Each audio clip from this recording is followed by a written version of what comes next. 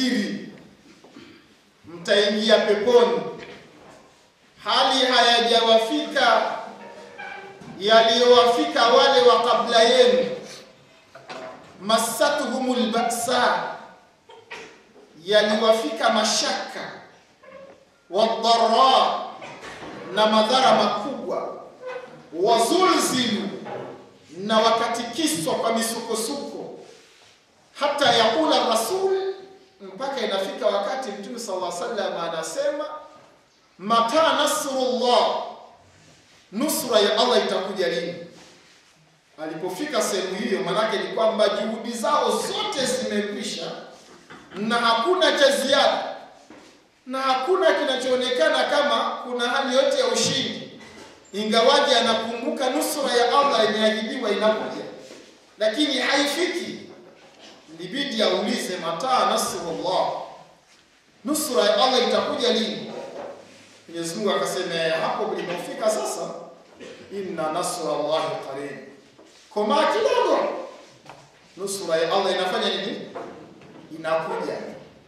Ala inna nasra Allahi qarib, hapo mlipofika ni kama Mungu asema hapo, nimeshuhudia kwamba juhudi zenu zote zimekwisha, sasa nusra ya Allah inafanya nini? Inakuja. Ala, sikilizeni inna nasra Allahi qarib, nusra ya Allah iko hivi karibuni, itafika hivi karibuni.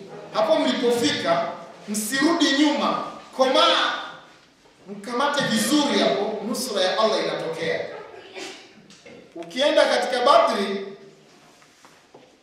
vita ya kwanza na ya kihistoria maana katika vita Mwenyezi Mungu ameithamini katika historia vita ya Badri, kiasi hata ukirudi katika history, hata waliokuwa wakifanya makosa makubwa ya kuteleza, lakini ikirudiwa kihistoria kwamba alishiriki kwenye Badri, basi Mwenyezi Mungu anapita makosa yao pembeni. Ukifanya makosa makubwa mpaka ya usaliti katika masala ya mapambano, lakini ikirudiwa katika historia kwamba alishiriki katika Badri, basi Mwenyezi Mungu anafanya kama anaipita pembeni, yale makosa anayapita pembeni, anawalingania kwa kuwaita ya ayyuhalladhina amanu. Bado sio mrafiki huyu, ni muumini, alishiriki Badri. Sasa ile Badri unamkuta Mtume sallallahu alaihi wasallam anajua asubuhi ni mapambano na ameandaa nguvu kwa kadiri ya uwezo, lakini usiku kucha bado analala akiomba, mpaka Abubakar Siddiq radhiallahu anhu anahisi kama Mtume sasa anamng'ang'aniza Mwenyezi Mungu, lakini ni kwamba pamoja na maandalizi anahitaji nusra ya Allah waliingia katika mapambano pamoja na Allah amemwahidi, nitakuletea jeshi, pambana wala usiwe na shaka, na jeshi linakuja. Jeshi halikutokea mwanzo, jeshi halikuja mwanzo, ilibidi wapigane kwanza mpaka zile nguvu walizoziandaa ziishi. Wakakutana na kundi la makafiri kubwa, maandalizi ya silaha makubwa wana vifaa vya kutosha dhidi ya Waislamu. Waislamu wakajitosa na shura ikafanyika, jamani, tunapigana tunafanyaje? Wakasema Mtume saa salam hapa tulipofika, hata ukituamuru tujitose kwenye bahari, sisi tuna uwezo wa kujitosa. Kwa hivyo usiwe na shaka, tutapambana nao, nguvu zetu zikiisha, fabiha wa neema Mwenyezi Mungu atashuhudia kwamba nguvu zetu zimekwisha. Kwa hiyo wakaingia katika mapambano na Mwenyezi Mungu is watching live. Wakati Mwenyezi Mungu anashuhudia yale mapambano moja kwa moja, anaona wanavyopigwa, lakini bado wana nguvu, hmm. bado wana nguvu. Kwa hiyo wakashambuliwa, ukweli wa kushambuliwa bado wana nguvu nguvu, wakati kapigana mpaka mtume sasa anatamani kurudi sasa kuomba hiyo nusra make afisa nusra ya Allah mbona haifiki? Mzungu anaona bado bado kidogo. Kuna vinguvunguvu bado. Acha wakomae wanapigwa weka mishale tayari wanaweka. Jamaa wanakuja piga wanapiga. Na wao wanapigwa ndo sunna. Fayaktulu fayaktulu wayuktalun wanaua na wanafanya nini? Wanauawa ndo sunna. Wanaua na wanauawa. Sasa mungu aoni ili awezi kuzisema usimpate ah ni kanuni. Fayaktulun wayuktalun wanaua na wanauawa Mtume sallallahu alaihi wasallam alipoangalia hali akaona kwa kweli hali ni ngumu. Mwenyezi sasa muda wako umefika. Hapa bana, usura ya Allah inatakiwa kushuka. Sasa akatuma FFU fanya fujo uone, ikashuka na FFU yenyewe inatoka kwa nani? Inatoka kwa Allah. Aliyewahi kuona alikuwa ni Ibilisi. Ibilisi aliona mapema sana, anasema mmm, hali ninayoiona naona msichokiona, hali ngumu. Manake walipewa maelekezo maalum, na kabla ya hapo Mwenyezi Mungu Subhanahu wa Ta'ala anamwambia Mtume Muhammad sallallahu alaihi wasallam, asema chukua mchanga sasa, soma dua, itafanya kazi muda huu, sio muujiza hapa, yaani sio dua muujiza au dua muhali. Kwa kwamba unaomba dua ya muujiza kabla hujafanya juhudi au dua ambayo ni muhali, lazima kuwe kuna juhudi, alafu ule muujiza uweze kumshuhudia. Basi akachukua mchanga akasomea kama maelekezo aliyopewa, kisha akaambiwa rusha huo mchanga uone nusura ya Akaurusha. Mtume sala salam akatokea kuwa ndiye mtu wa kwanza kutengeneza bomu la machozi mtu wa kwanza kutengeneza bomu la machozi katika mapambano, akalirusha. Aliporusha ile ikaingia katika jicho la kila mtu, basharata FFU wakamata tawepesi. Kwa hiyo wakati nyinyi mnahangaika na machozi yanatiririka, unawasha, inashuka FFU kwa maelekezo maalum fadribu fawqa al-a'naqi wadribu minhum kulla banan, mnakwenda kwa maelekezo maalum, mtakuwa mnawakamata, mnawapiga mapiga ya shingo, kisha mnakata ncha za vidole. Yalikuwa ni maelekezo maalum kutoka kwa Allah kuelekea kwa malaika. Kwa FFU wanakuta wako wana wale makufari wako wanataabika taabika, kwa ni kufika tu kukamata, piga mapigo ya shingo, kata ncha za vidole. Inaonekana mtu anakata kichwa, anaangushwa chini, anayekata haonekani. Ila Ibilisi alishaona hali, sema jamani, naona msichokiona, mimi naondoka.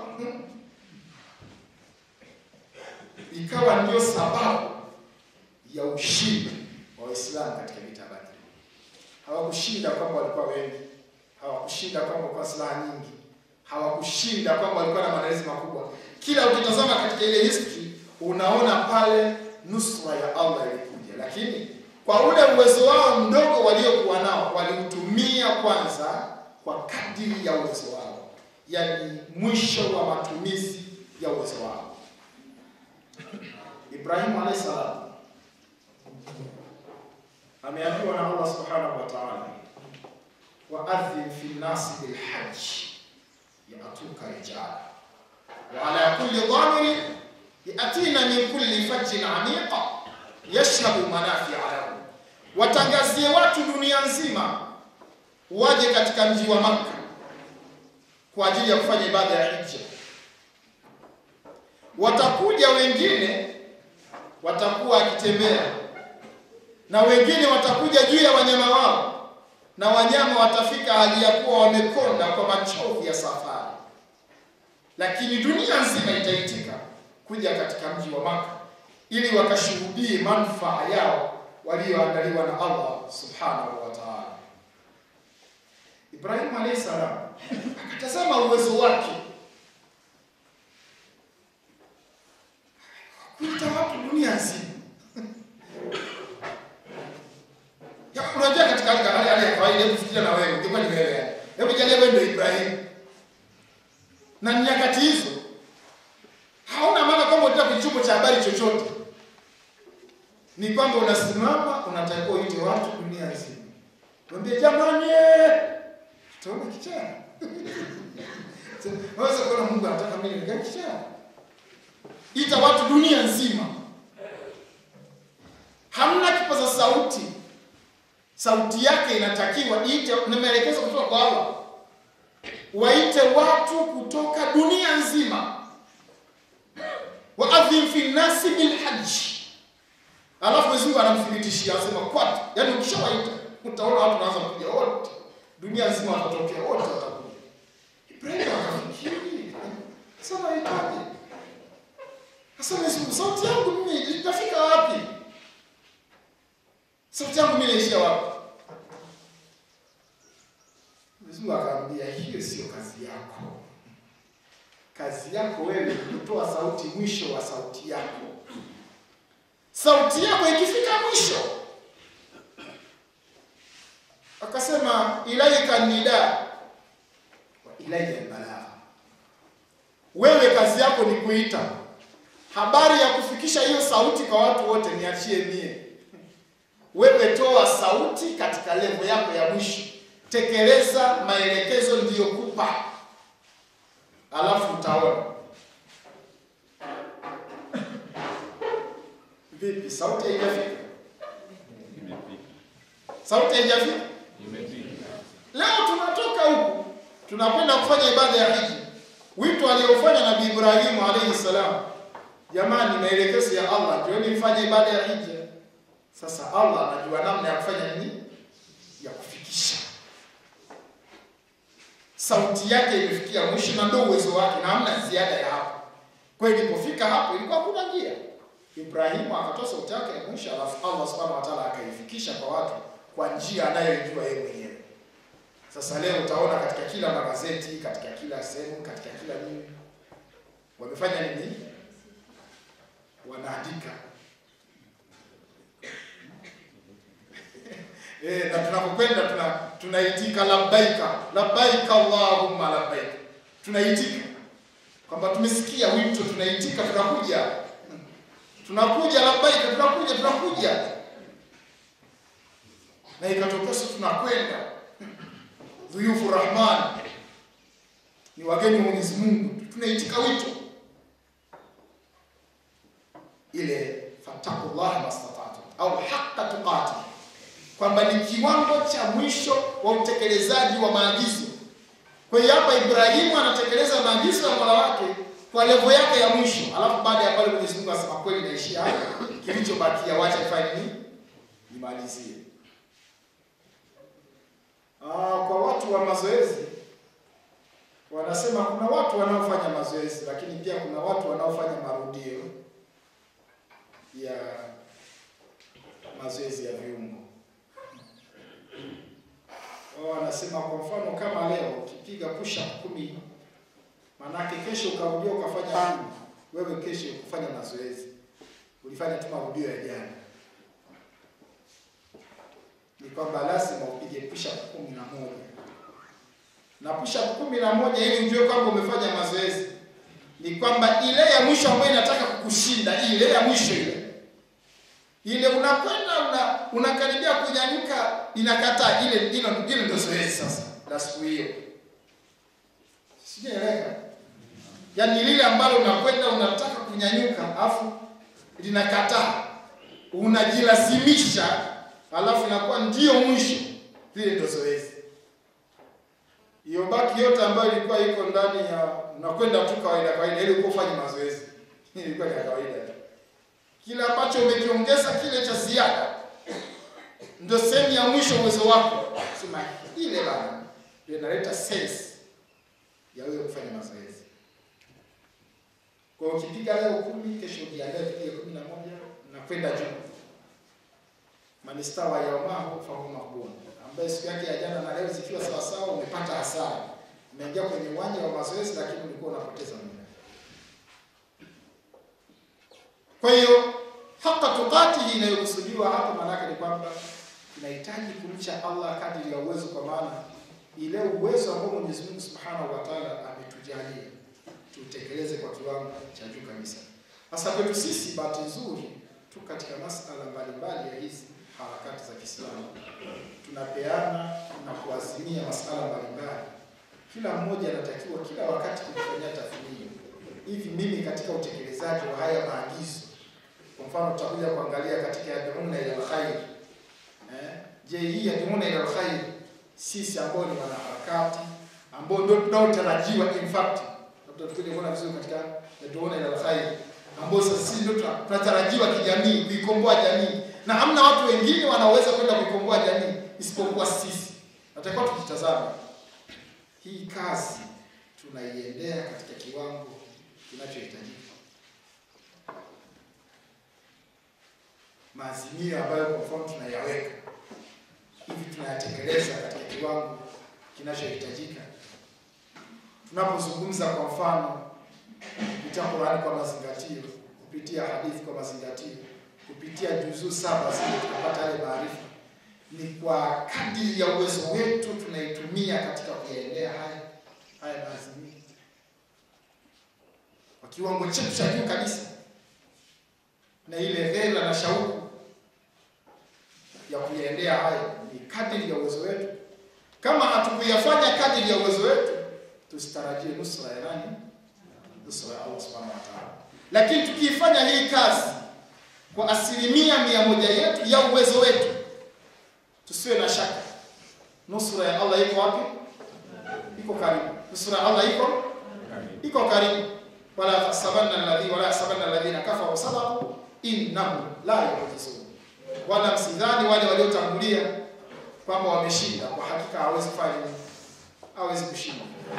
Nikawa naambia baada tu nikaambia, unajua wakati mwingine tunajikatisha tamaa tunataka wakiwa na shule ishirini na sisi tuwe na shule ishirini.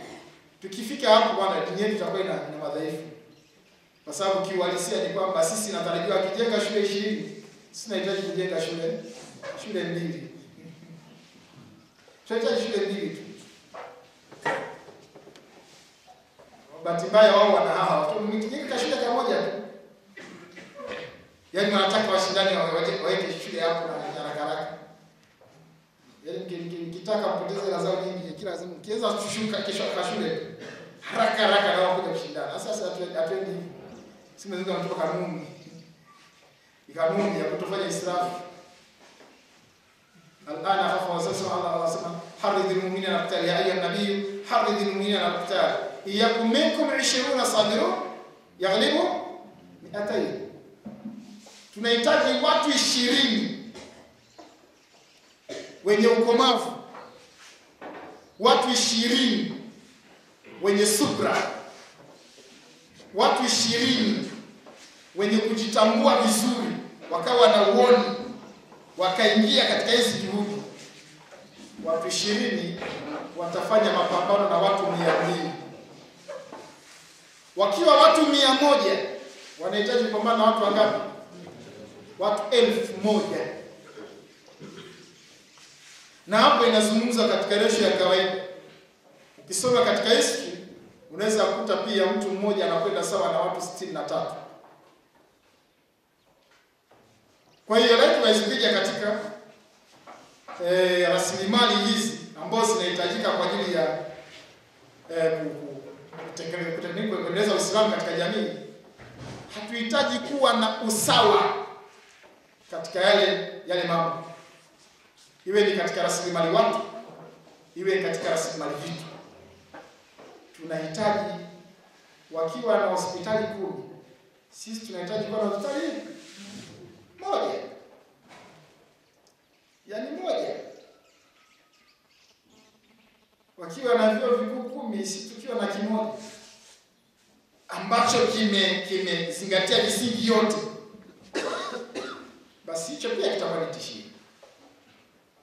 Kwa hiyo kiujumla ni kwamba kama mtatekeleza haya maagizo kwa kadiri ya uwezo aliyotujalia Mwenyezi Mungu Subhanahu wa Ta'ala, itakuwa ni sehemu ya pili ya kutekeleza aya hii, ittaqullaha haqa haqa tuqatihi. Na mwisho Allah akasema, wala tamutunna illa wa antum muslimun, wala msife isipokuwa isipokuwa Waislamu. Sasa ukirudi hapa nyuma utaona wazi kumbe hakuna uwezekano wa kutekeleza Uislamu wala kumcha Allah katika kipengele cha cha cha maisha yetu mpaka Uislamu huo umesimama. Sijui kama mmeliona vizuri. Yaani katika funzo ukichungulia vizuri hapo utaona kuna jambo Mwenyezi Mungu anatuonesha hakuna uwezekano wa kumcha Allah, uhakika wa kumcha katika kila kipengele cha maisha yetu isipokuwa lazima Uislamu umefanya nini? Huo umesimama. Kwa sababu hapo inachoonyesha ni kwamba kumcha Allah, uhakika wa kumcha utahitaji kuwa na maarifa ya kila kipengele cha uendeaji wa maisha ya kila siku. Baada ya kupata yale maarifa, unahitaji uyaingize kwenye utekelezaji. Kama Uislamu haujasimama, utaingiza baadhi na kuacha na kuacha baadhi, na aya ya Allah itakuja. Afatuminuna ba'dhi alkitabi wa takfuruna ba'd. Fama jazaa'u man yaf'alu dhalika minkum illa khizyun fil hayati dunya, mtakuwa mnaamini baadhi na kuacha baadhi, na hakuna malipo mabaya. Kama kwa mtu anayeamini baadhi na kuacha baadhi, kwa sababu malipo yake ataanza kupata fedheha na udhalili katika haya maisha ya dunia. Na hili tunalishuhudia, tulishuhudia. Fama jazau man yafalu dhalika minkum illa khizyun, atapata maisha ya fedheha katika maisha ya dunia, lakini pia akhira atarejeshwa kwa Mwenyezi Mungu kwa ajili ya kupata adhabu kubwa zaidi ya ile aliyoipata katika haya maisha ya dunia. Kwa hiyo hapa tunaonyesha kwamba hakuna pia uwezekano wa kumcha Allah, ukweli wa kumcha, kama Uislamu haujasimama. Kwa lugha nyingine, tunahimizwa kufanya juhudi za kuhakikisha kwamba Uislamu unasimama, ili aya nyingine, kwa mfano Allah asema katika Bakara 208 ya ayuha alladhina amanu dukhulu fi silmi kafa wala tattabi'u khutuwati shaitani innahu lakum aduwwun mubin, enyi mlioamini, ingieni katika Uislamu wazima wazima, wala msifuate nyayo za shaitani, yaani muutekeleze Uislamu kwa ukamilifu wake, wala msifuate nyayo za shaitani. Kwa yakini yeye ni adui aliye wazi, adui aliye dhani. kwa maana kwamba mkiingia katika Uislamu basi muutekeleze Uislamu kwa ukamilifu wake na msifuate nyayo za sheitani kwa maana ya kutoka, yani unatoka kwenye Uislamu katika baadhi ya mida na kuingia katika Uislamu katika baadhi ya mida. Kwa hiyo utaona hapa tuna jukumu zito la kuhakikisha kwamba tunasimamisha Uislamu katika jamii. Baada ya hapo ndio sasa hii aya inakuja ikamilisa sehemu ya ya inakuja wala tamutunna illa wa antum muslimun. Baada ya kufahamu Uislamu mkaweka mazingira ya kutekeleza vilivyo na mkauendea kadiri ya uwezo wenu wa mwisho. Mkishafanya hivyo mkautawalisha Uislamu vizuri, basi mtakuwa na jukumu la kusimamia kusimamia kufanya kuamini Uislamu, kwamba mdumu sasa katika huo Uislamu, msitoke mpaka mwisho wa pumzi zenu. Katika sura 22 aya 78 anasema Allah subhanahu wa ta'ala, wajahidu fillahi haqqa jihadihi huwa ijtabakum wama ja'ala alaykum fi dini min haraj millata abikum Ibrahim huwa sammakum almuslimuna min qabl wa fi hadha, ipiganieni hii dini ya Mwenyezi Mungu kwa hakika wa kuipigania yeye. Mwenyezi Mungu Subhanahu wa Ta'ala hakujalia mambo mazito katika hii dini, ma jaala alaykum fi dini min haraj, hakufanyieni mambo mazito katika kuendea hii dini amefanya mambo yawe mepesi. Millata abikum Ibrahim, ni milla ya mzee wenu Ibrahim alayhi salam. Yeye amekuiteni Waislamu katika vitabu vya mwanzo, lakini pia mmeitwa ni Waislamu katika hii Qur'ani pia. Kwa hiyo wala tamutunna illa wa antum muslimun, wala msife isipokuwa mmekwisha kuwa ni Waislamu kamili. Sasa hapa maanake ni kwamba baada ya kufahamu Uislamu tukauingiza katika matendo, tukajenga mazingira ya kutekeleza Uislamu kwa ukamilifu wake, tutakuwa na jukumu la kuhami Uislamu, yaani kwanza kuchukua tahadhari wenyewe tutolewe kwenye Uislamu, lakini kuhami Uislamu pia usipotee. Sasa kwetu sisi kwa mazingira ya ya, ya Kitanzania ni kweli Uislamu haujasimama na uwezekano wa kumcha Allah katika kila kipengele inawezekana ikawa ni vigumu, lakini Mwenyezi Mungu anahitaji kuona zile juhudi ambazo tunazifanya kadri ya uwezo wetu, ili Uislamu uweze kutawala katika jamii. Sasa swali kwetu kwamba tunafikiri katika juhudi ambazo tunaziendea, je, tumefanya tukijitathmini katika utekelezaji wetu tunafanya kwa kiwango kile ambacho Mwenyezi Mungu Subhanahu wa Ta'ala ametujalia. Kila mmoja akijitathmini nusura ya Allah, tuna matumaini ya nusura.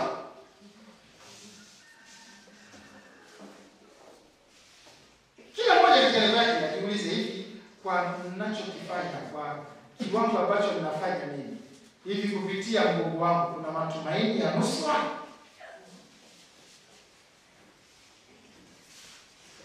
au mnafikiri bado kuna kiwango ambacho bado hatujakitoa, kwa hiyo nusura ya Allah bado iko mbali?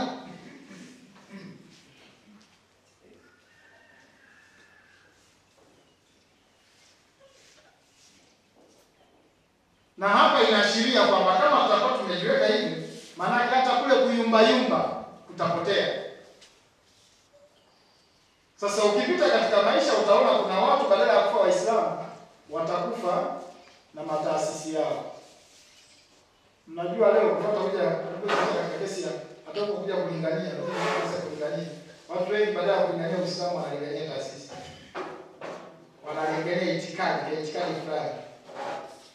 Yaani baada ya kulingania Uislamu au baada ya kuwa Muislamu, yeye anakuwa ni ni, ni, ni, ni kikundi fulani. Na watu wote anawalingania wawe wawe kikundi chake. Si ndio? Eh, sasa ndio hapo tunasema Allah angalitaka angeweza kusema wala tamutunna illa wa antum ansarisun. Mungu angeweza kusema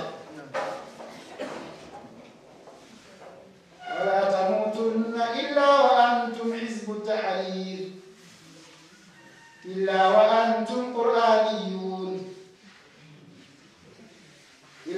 antum illa wa antum illa wa antum, lakini Allah sema wa antum muslimun, na hilo ndio jina lako.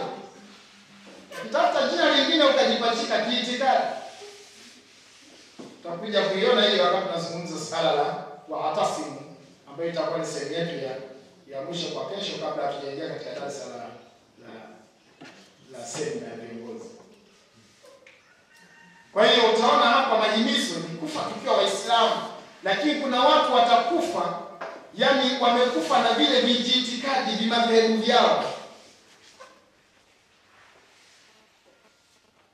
na kwa hivyo Uislamu lazima uujue ili uishi katika hali kama hiyo ya Uislamu. Ujue Uislamu ni nini, Uislamu wa kweli ni upi, ambao labda wakati mzungumzaji akakuwa anazungumza kesi ya ya Dohone la Khair labda itabidi aguse katika sehemu ambayo ina itakuwa inahusika katika sehemu ya ya, ya, ya Uislamu. Yaani Uislamu tunaozungumza kutoka ulingania ni Uislamu upi?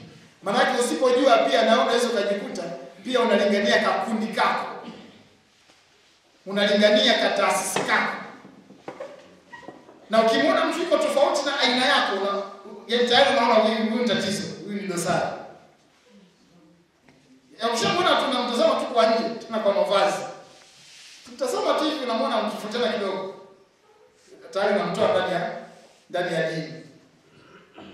Red card,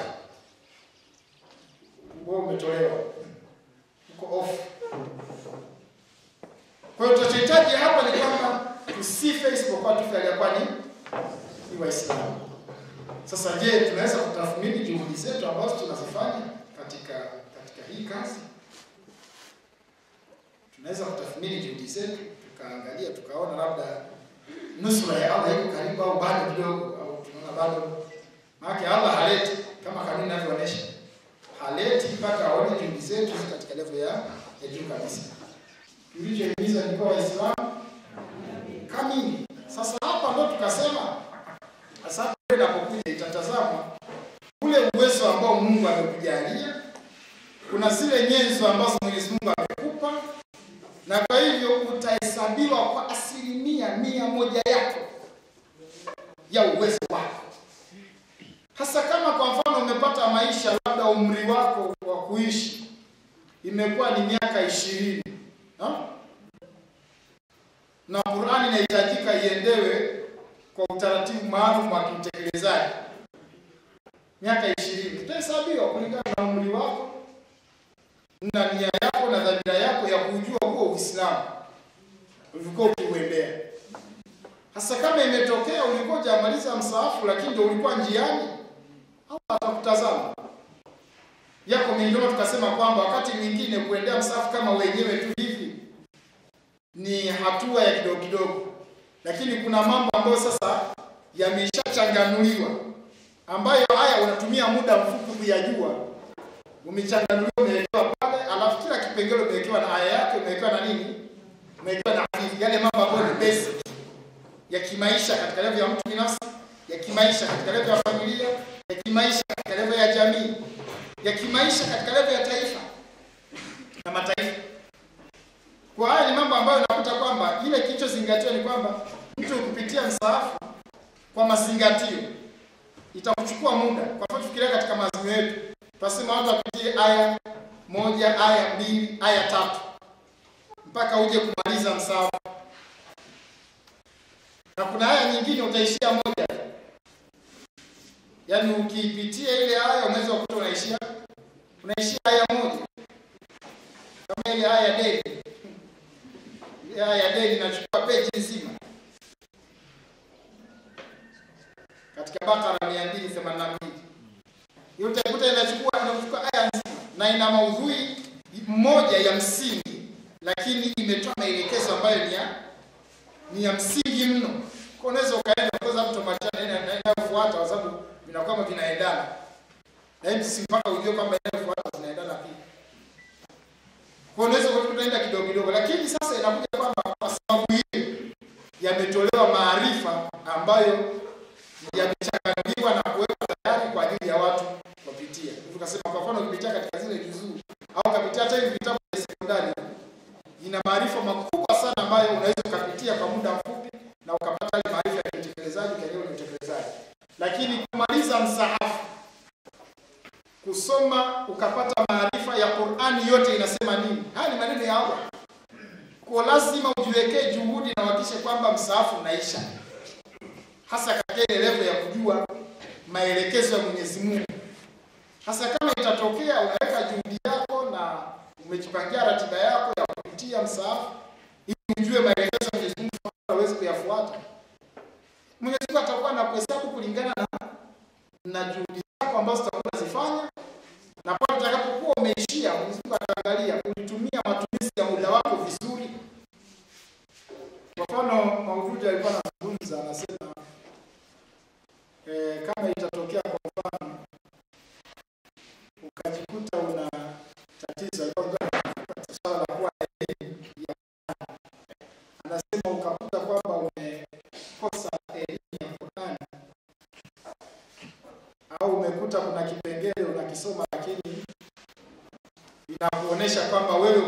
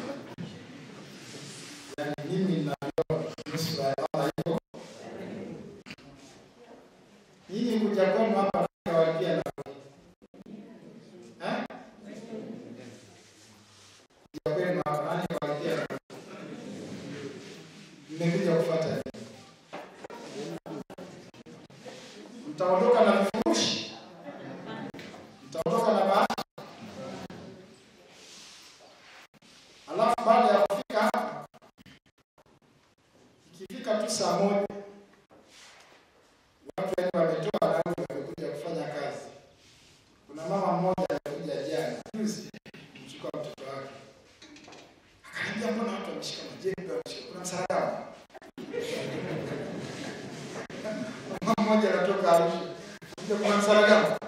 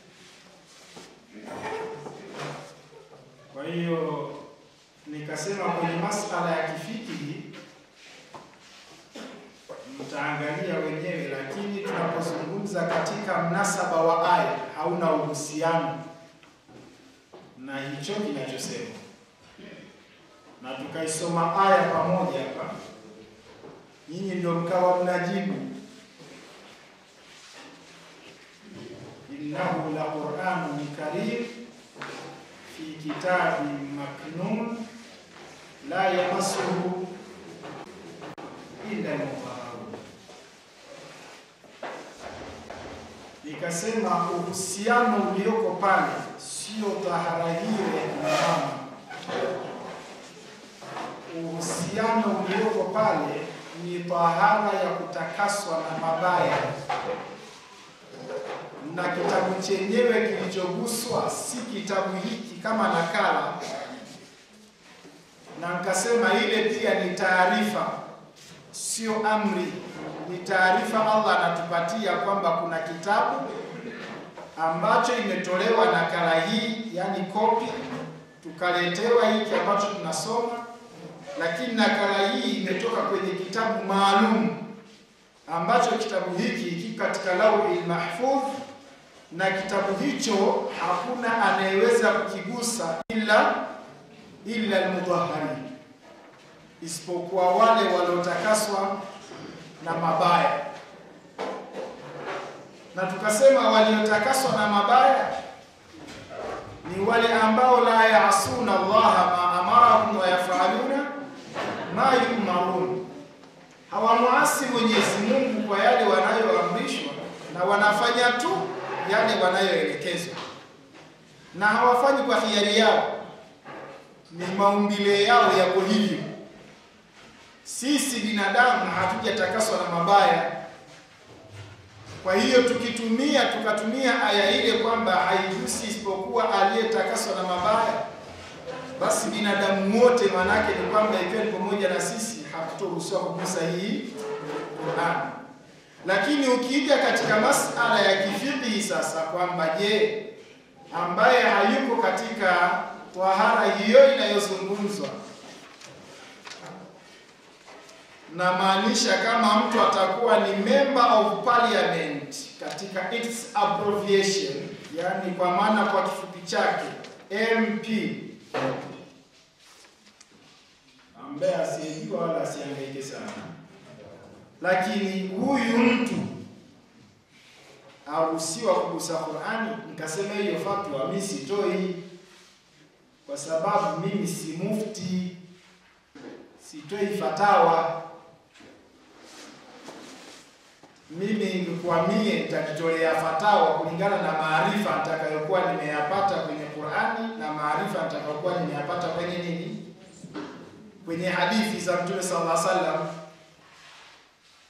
Halafu ni muhusika sasa kwenye maisha ya kila siku. Kwa hiyo katika fatawa hizo ningeomba turudi katika fatawa za kifiki ambazo zinajulikana katika sheria ambazo mimi binafsi siwezi kutoa. Kwa mfano, kwa mfano unaweza kupita pia katika maarifa, ukapita katika hata katika hadithi kwamba mtu atakayekuwa katika hali hiyo basi asisome Qur'ani, asiguse Qur'ani wala asisome Qur'ani, na katika baadhi ya sehemu kwamba asisome Qur'ani hata kimoyomoyo. Mimi kwa mfano sijui, lakini kwa upande wangu mimi ingeshindikana, kwa sababu ni vigumu kutoisoma Qur'ani kimoyomoyo vinginevyo huo hujahifadhi kabisa. Ukiwa hujahifadhi kabisa, kweli inawezekana, lakini kwa hafidhu, sijui kwa hafidha, labda kwa hafidha inawezekana akajizuilia, sijui, lakini navyojua hafidhu katika upande wa mwanaume ni vigumu yeye kujizuilia. Anataka hataki, atajikuta anaisoma Qur'ani. Ukishahifadhi juzu tano, nachokiongea unanielewa. Eh, lakini kama utakuwa chini hapo inawezekana tusielewane sana. Maana wakati mwingine unatembea tunakuta zinakuja, yaani wewe unaanza kuzisoma na wakati huo pia wahitaji kuzifanyia muraja. Sasa inakuja labda una zaidi ya siku arobaini au kuanzia siku arobaini la yamasu illa mutaharun, lakini wakati huo pia usikuisoma. kuisoma. Sasa ikija katika mazingira kama hayo, sijui nachelea mtu asije akawa na fatawa ya ukifunga unatakiwa pia usimeze mate. Kwa hiyo mimi nikisema nitasema katika mpitio wa hadithi, mpitio wa sheria ya kifikihi, mpitio wa aya, halafu unatazama ule muktadha wa mazingira ya mtu husika. Kwa hiyo fatawa ya jumla msitarajie sana kutoka kwangu. Kila mmoja awe na maarifa ya kutosha kuhusu dini yake, alafu aitekeleze dini yake kwa namna inavyotekelezeka na kwa mujibu wa e, vyanzo vya elimu hii ya dini. Vinginevyo, kama mtazamaji mtoe fatawa kwa mtu, ndio maana akasema kwamba sehemu yoyote ambayo iko direct huwezi kuingiza la kwako, yaani palipo na aya, palipo na hadithi na vinatekelezeka, huwezi kuingiza la kwako. Kwa nirudi tena, ile aya haina uhusiano. Narudia tena, aya ile haina uhusiano, la yamasu ila almutahharun, haina uhusiano na tahara hiyo inayozungumzwa kwa muktadha wa aya. Ama kwa masala ya kifiki hii, naomba tusijichanganye, tuendelee kutekeleza kwa mujibu wa maarifa yetu ya fikihi tuliyonayo. Nimeeleweka? Nimefahamika? Nauza kina mama peke yao, nimefahamika? Maana amchelewi kuchanganyikiwa. Maana watu wengine wanasema sasa, kama tumeruhusiwa kushika Qur'ani, basi turuhusiwe na uswali, tusiwe na kutufa Alkaaba, si ndio? Eh, sasa mimi sikutoa fatwa, ila muktadha wa ile aya nasisitiza kwamba havina uhusiano, na hata nyie wenyewe tulisema pamoja hapa na nyie mkaona kwamba aya imegusa Qur'ani inayokusudiwa si hii ambayo haigusi isipokuwa leo taharika hii ni nakala ile iliyoko kule, tunapewa taarifa kwamba haigusi ila na waliotakaswa na na mabaya.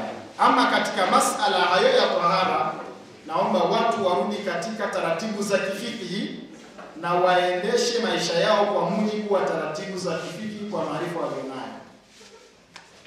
Imefahamika? Alhamdulillah. Sasa twende katika wa'tasimu bihablillahi jamia wala tafarraqu, aya ambayo ilikuwa inafuata, ambayo tunakusudia biidhnillahi karibu itakuwa inatufungia darsa la semina sorry, la tamasha la semina ni waatasimu bihablillahi jamia. Wala tafaraku. Shikamaneni katika kamba ya Allah nyote kwa pamoja, wala msifarikiane, nakumbukeni neema ya Allah iliyokuwa juu yenu mlipokuwa ni maadui. Faallafa baina qulubikum, tahamaki Mwenyezi Mungu akaziunganisha nyoyo zenu, fa asbahtum bi ni'matihi ikhwana, mkajikuta mmekuwa ni ndugu. Wa kuntum ala shafa hufratin minan nar, na mlikuwa mnakaribia kutumbukia katika shimo la moto kwa sababu ya kufarakana kwenu. Fa anqadhakum minha, Mwenyezi Mungu akakuokoeni kutokana na moto huo. Kadhalika yubayinu llahu lakum ayatihi, hivi ndivyo Mwenyezi Mungu anakupambanulieni aya zake, la'allakum tahtadun, ili mpate kuongoka. Katika aya hii kuna maelekezo ya msingi baada ya kuwa tumetazama mahimizo ya kumcha Allah na namna ya kumcha inavyostahili kumcha, na tukalazimika kudumu katika Uislamu mpaka mwisho wa uhai wetu. Wa'bud rabbaka hata yatiyaka al-yaqin Allah sema walaqad na'lamu annaka yadhiqu sadruka bima yaqulun. Fasabbih bihamdi rabbika wa kun minas sajidin. Wa'bud rabbaka hatta ya'tiyaka al-yaqin. Tunajua na kwa hakika tunajua kwamba moyo wako unadhikika, unapata dhiki kwa yale wanayoyasema dhidi yako, lakini usirudi nyuma, endelea kumsabihi, kumtukuza Mola wako na kujinyenyekesha zaidi kwake, na udumu katika kumwabudu mpaka umauti ukukute. Sasa aya inayofuata inaonyesha uwezekano wa kumcha Allah na kudumu katika kumcha Allah katika nyanja zote za maisha haupo, ila kwa sharti la Waislamu kuungana kwa pamoja, tena kwa misingi maalum ya kuwaunganisha. Waatasimu bihablillahi jamia wala tafarraqu, shikamaneni nyote katika kamba ya Allah wala msifarikiane. Kamba ya Allah ndicho kiunganishi kwa Waislamu kinachoweza kuleta mshikamano, ambacho hiki ndo kitakuwa kiunganishi kikuu, na hiki ndicho pia kitakachowatenganisha watu tutajikusanya na kuungana kwalo, na ikibidi kuachana, kitakachostahiki kutuachanisha nini? Ni ni hablillah, kamba ya Allah. Kwa hiyo kamba ya Allah lazima tuijue. Kwa hiyo katika sehemu hii, sehemu ya kwanza ni kufahamu kwamba suala la umoja na mshikamano miongoni mwa Waislamu ni amri na ni faradhi. Hakuna Mwislamu atakayekuwa na hiari ya kujitenga akautekeleza Uislamu kivyake vyake katika levo ya mtu binafsi. Akishafika katika levo ya kutekeleza Uislamu katika levo ya mtu binafsi, ni lazima atafute Waislamu waungane pamoja, wafanye hii kazi, waungane pamoja kwa misingi ya habli, kamba ya Allah sifa si, sio katika sio katika sio katika hiari mtu akajisi kwamba ana uhuru wa kuungana na Waislamu katika kufanya hizi kazi. Mtu akahisi anaweza kuswali mwenyewe, akafunga, akatoa zaka, akahiji, alafu akaendelea na adhkari msikitini au kwa vyovyote vile, alafu akawa ajishughulishi na masala ya jamii, alafu akasubiri pepo ya Allah. Suala la umoja na mshikamano katika Uislamu si suala la uhuru kama wengi wanavyodhani. Na mimi sasa nimeshaona kwa kweli, bora tu bora tu ukaswali msikitini ukafunga zako, usubiri tu muda uishe, biidhnillahi karimu utaingia peponi. Huna namna kwanza ya kutekeleza huo Uislamu wenyewe kama hamjaungana. Yaani huo Uislamu wenyewe hata unauzungumza wa binafsi, kuna level utagota, kuna sehemu utaishia.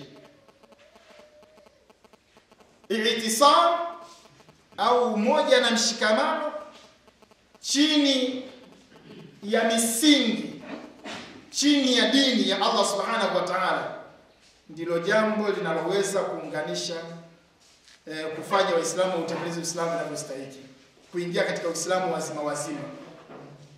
Kihistoria Uislamu haukushinda kwa sababu ya maandalizi makubwa sana ya silaha. Uislamu haukushinda kwa sababu ya wingi wao Waislamu. Uislamu haukushinda kwa sababu nyingine yoyote, lakini ngao kuu iliyokuwa inategemewa miongoni mwa Waislamu ni umoja na mshikamano uliokuwa chini ya misingi ya Qur'an na Sunna za Mtume Muhammad sallallahu alaihi wasallam. Na adui alipata shida, adui alipata shida kwa muda mrefu, akafanya mapambano ya dhati, akifanya maandalizi. Upande wa adui alikuwa akifanya maandalizi makubwa, akifanya maandalizi, ana silaha za kutosha lakini kila akiingia katika medani ya mapambano anakutana na watu wachache wenye nguvu za kawaida, kadri mastataa, kwa kiwango ambacho walikuwa wanaweza. Lakini wakishambuliwa, wakiondoka, wanakwenda kusimulia. Mpaka inafika mpaka inafika wakati wa Mtume saa salama, inafika wakati wa Ahzab ama Khandaq, katika vita ya Khandaq, majeshi yameamua kujiorganize katika levo ya mataifa kwenda kushambulia kwa kikundi kamoja tu ka Nabii Muhammad sallallahu alaihi wasallam, tena ka kikundi dhaifu, na kile walichokutana nacho waliondoka wamekinai kwamba sasa hatuna uwezekano wa kuwashinda hawa kwa mapambano ya ana kwa ana. Liko jambo tunahitaji kudestroy, kuliharibu. Lipo jambo linawapa msukumo wale watu kushinda, sio nguvu zao, sio uimara wa silaha, sio wingi. Maanake walikuja zaidi ya watu elfu kumi. Wanakuja kupambana kikundi kidogo, lakini watu walichofanya, waliangalia uwezekano, nini tunafanya, wakachimba handaki, wakachimba handaki. Kadiri ya uwezo, wakatumia nguvu zao zote, alafu akatarajia nusura ya Allah. Baadaye Makuraishi wanafika, wanakutana na kizingiti cha cha handaki. Sio tu binadamu walioshangaa, na farasi nao wakashangaa. Farasi haendi mbele, anashangaa, manake ile staili haijawahi kuonekana ya kivita. Lakini katika hamasa aliyoifanya Mwenyezi Mungu Subhanahu wa Ta'ala, akawatia hofu kidogo upande wa waumini, lakini ikawa ndio ndio kheri yenyewe huenda mkachukia kitu kumbe ni heri kwenu, na mkapenda kitu kumbe ni shari shari kwenu. Lengo la kuchimba ile handaki ni kwa mujibu wa ile nguvu inayokuja. Hatuna uwezo wa kupambana nayo ana kwa ana. Kumbuka ile lazima msogeleane, muwe karibu karibu nyakati hizo, sio sasa hivi za matumizi ya nguo kubwa eh? Eh, sio sasa hivi. Kwa hiyo wakidhani kwamba wakifika tu tuangaliane, wao wakae kule na sisi tukae huku, tuangaliane tu muda ukiisha watu wageuze. Allah akatoa mijitu mikomando ya kikafiri ikapatazama pale, yasema yaani hapa kweli hatuwezi kuruka. Akatokea wa kwanza, Allah akamtia nguvu kwa upande mmoja kuwashangaza kidogo Waislamu, lakini kwa upande wa pili ilikuwa ni discipline kwa upande wa, wa maadui waka ile bana anavuka, alafu anatamba, anasema mwanaume yani. Sasa badala ya kutoka mwanaume, watu wote walikuwa wanaangalia kwanza nguvu waliotumia kuchimba pale, alafu wanatazama ule upana, alafu wanamtazama mtu aliyeruka pale. Ilibidi watu wote wainame chini kwa majonzi, kila mmoja akihisi kama hakuna kazi tuliyoifanya. Kama hakuna kazi tuliyoifanya, lakini wakati huo wako mwisho, yani wamefanya katika level yao ya mwisho, nakuta wamefunga mawe, yani wananjaa, wanafunga mawe, wanachimba shimo. Anatamba, jamani, mwanaume, wanainama chini hakuna Omar, hakuna nani. Ngoma nzito. Tahamaki akatokea kijana mdogo tu, lakini haya si matusi haya. Ya, mtu anatamba, alafu yani tumetumia nguvu kubwa namna hiyo, tumeinama tu, yani unatokea mtu akafe naye tu, ionekane kwamba mtu amejitahidi. Akamisha Saidina Ali akasema, Rasulullah, naomba hivi. Sasa mtume akamwangalia Ali anavyolingana akatazama ile jitu lile, alafu akatazama aliporuka, akafikiria nguvu iliyotumika, akamwambia Mara, subiri kidogo, subiri kidogo, hakuendeki. Akaendelea kutamba ile bara. Sayyidina Ali akaisha mara ya pili, Sayyidina Ali akaisha mara ya tatu. Mtume sallallahu alaihi wasallam bismillah, lakini wakati huo anainama chini, anasema e Mwenyezi Mungu, ulinyang'anya Hamza katika Uhud leo nanyang'anya Hamza wa pili katika Khandaq. Manake kila akitazama pale ni kwamba Sayyidina Ali amejitutumwa tu, lakini ameondoka. Sasa na Sayyidina Ali alipata fikra ya haraka, akamteza nguvu. Ni kijana mdogo, akamteza nguvu komando wa makafiri, na kumteza nguvu Yasemu alitembea kwa kwa madaha ya kujiamini, anaambia umekwisha. Najua ukitishwa na mtoto mdogo. Kama unapita Manzese ukakutana na bwana mdogo kama huyu, alafu anakwambia dogo, kwamba simu yangu. Awe usimtazame yule. Usimtazame yule. Ukimtazama yule utapata shida sana lazima ukague vizuri, ni huyu au ametumwa. Sasa anatoka Saidina Ali anatembea kwa madaha kama strategy, kama mbinu ya kivita ya kumteza nguvu yule, ya kumtia mashaka, aanze kujishusha.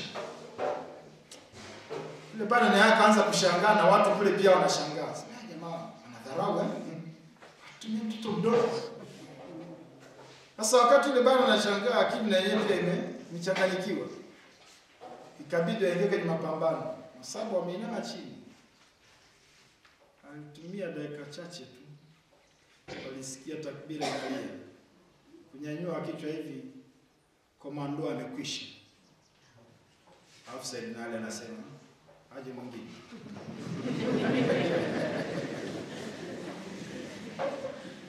aje mwingine. Sasa hapo lazima mshauriane. Anaenda nani?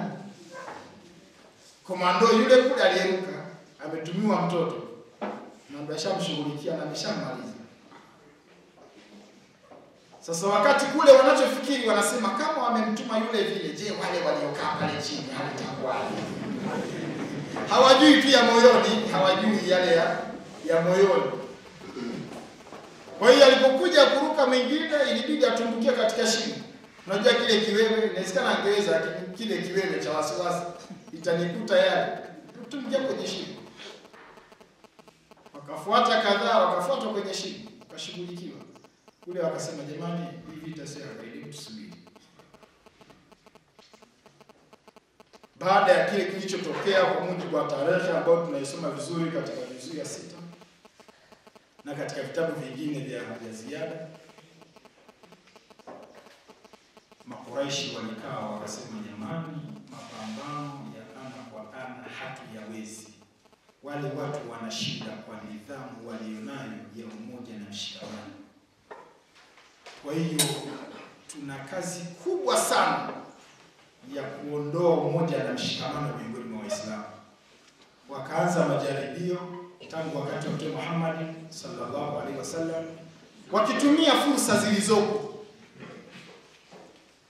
Moja ya fursa ilikuwa ni fursa ya wanafiki walio miongoni mwa Waislamu. Ile ilikuwa ni fursa kwamba watashirikiana na wale ambao hawamkubali Mtume sallallahu alaihi wasallam kwa asilimia zote, wataitumia hiyo fursa wakiwa na hakika miongoni mwa watu wanajinasibisha na Uislamu wako watu ambao hawamkubali mtu mmoja kwa moja. Kwa hiyo fursa hiyo ikajaribiwa kutumika, lakini fursa ya pili ni matukio yoyote ambayo yanaweza kubabaisha kidogo imani ya Waislamu, kuyumbisha, kwamba ukiyatengeneza vizuri, basi hao watu unawayumbisha. Na jaribio la kwanza wakalifanya katika history, inaonekana katika sura al-Ahzab, Mtume sallallahu alaihi wasallam anatakiwa kumwoa Zainab binti Jahsh. Zainab binti Jahsh ni binti aliyekuwa ameolewa na mtoto wa kupanga wa Mtume sallallahu alaihi wasallam Zaid bin Harith, chini ya usimamizi wa Mtume sallallahu alaihi wa sallam. Sasa wamekwenda Zaidi bin Haritha pamoja na Zainab binti Jahsh katika maisha ya ndoa yakawa hayakupendeza sana, kwa ukawa kuna eh, hali ya binadi Zainab kutoridhika sana. Manake ni kwa sehemu ya kwanza anaolewa na mtu ambaye alikuwa ni mtumwa na yeye ni mtu huru. Zainab mtu huru, Zaidi alikuwa mtumwa, ambayo haikuwa ada, yani haikuzoeleka. Sasa maneno maneno mengi Zainab ameolewa na mtumwa na nini, ikawa kidogo inamsumbua. Kwa hiyo maisha yakawa kisaikolojia hayakuseti, magomvi yakawa mengi kwa Mtume sallallahu alaihi wasallam, na baada ya hapo maelekezo yakaja kwamba hao bana hawawezi kuendelea pamoja. Mtume akawakutanisha na kuwaachanisha, akamwambia kwa hapa bana, itabidi mtalikiana, ikabidi kutalikiana. Wanatalikiana anakuja Jibril alayhi salam ambaye amkwambia kitu mtume, sasa nimeagizwa na Allah, we muoe Zainabu binti Jahsh. Itazame vizuri, itazame vizuri, mmezozana mke na mume. Sasa anaweza kutatua, sisi watu wa kamati, tumtafute amiri taifa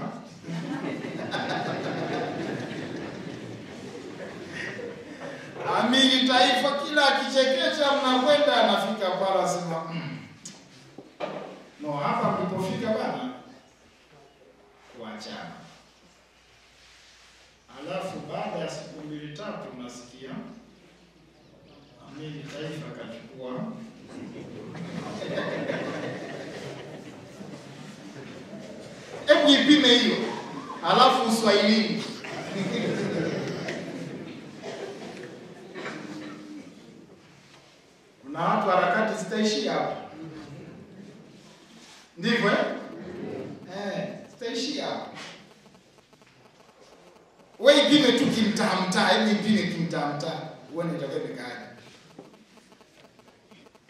Ule ulikuwa ni mwanya ukatumika, yakasemwa mengi ambayo bahati mbaya mpaka leo bado pia kuna watu wanaofanya kulingania hii dini na wanaitazama katika mtazamo huo huo wa maoni ya watu, lakini baadaye Mwenyezi Mungu akateremsha sura Ahzabi, aya nyingi tu kulieleza lile tukio, na mtume mwenyewe alisita, maelekezo yamekuja akasita anatazama jamii itanionaje? Akasita, mtume wa Mungu anasita, anatazama jamii yake. Hii tukio kwa limekuja vibaya, jamaa nikaa vibaya, mimi ndio nimewasimamia, alafu mimi nimesimamia swala la kuachana, alafu leo nataka mimi ndio niwe na maelekezo yenyewe hayatiki, sio ushauri, ni maelekezo, natakiwa nioe alisita. Baadaye Mwenyezi Mungu akasema kwa jina sasa nimekuozesha Mimi wali wazee na binti Jashi, nimekuoza, mpe haki zote za msingi za mke. Unafanya unamwambiaje Mungu? Mungu mwenyewe sasa unamwambiaje? Sasa ilibidi tu kae na msongo wa mawazo kwa muda, lakini ndio umeshaoa. Unaishi na mke kwa msongo wa mawazo, ndio umeshamuoa. Baada ya pale maneno mengi yakasemwa na nini, lakini baadaye Mwenyezi Mungu akaja kuonesha, asema kumbuka, mimi nakwambia, oh, unachelewa, unaanza kuwachelea watu, watasha nasi, wakati Allah peke yake ndio anatakiwa umchelee katika hizi juhudi lakini baadaye akawasawazisha vizuri Waislamu, aya zikakaa vizuri na watu wakaelewa, ile jambo likawa limeshindikana.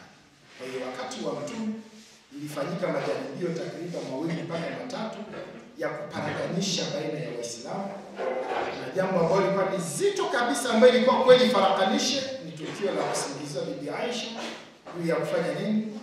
Juu ya kufanya zinaa, ukiacha tukio la la Bani Mustalik, watu katika vita ya Bani Mustalik wamezozana kidogo, akaibukia Abdallah bin Ubay bin Salul ambaye alikuwa amepewa nafasi ya kutafuta kila kafursa kuta watu wako wanakunywa maji, ikatokea mtumwa, ikatokea mtumishi wa Umar bin Khattab katika upande wa wa, wa, wa, wa, muhajirin, lakini pia ikatokea sahaba katika upande wa wa Ansari, wakazozana kidogo tu, kuzana kwa binadamu kwa kawaida.